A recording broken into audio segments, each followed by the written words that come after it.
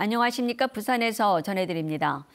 부산 지역의 코로나19 신규 확진자가 오늘 110명이 나와서 나흘째 100명대를 이어가고 있습니다. 부산시는 유흥시설의 집합 금지 명령을 다음 달 1일까지 일주일 더 연장하기로 했습니다. 최재훈 기자가 보도합니다. 오늘 신규 확진자 110명 가운데 집단 감염으로 가장 많이 나온 곳은 동래구 목욕탕입니다. 방문자 20명 등 모두 24명이 추가로 확진돼 관련 확진자는 66명으로 늘었습니다. 동구 목욕탕에서도 오늘 7명이 추가 확진됐습니다.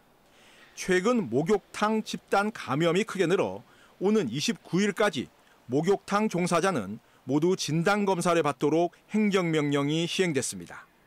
유흥시설 관련 접촉자 5명도 추가 확진돼 관련 확진자가 222명으로 늘었습니다.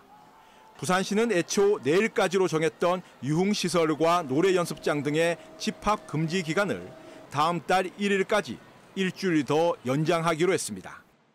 유흥시설의 유행이 아직 완전히 마무리되지 않은 상태이고요.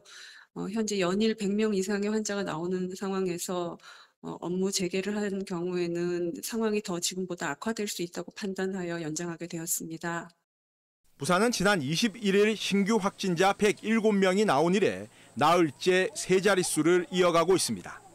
하루 1만 2천여 명이 코로나19 백신을 접종해 현재까지 1차 접종률은 35.5%, 2차까지 완료한 접종률은 13.6%를 기록하고 있습니다.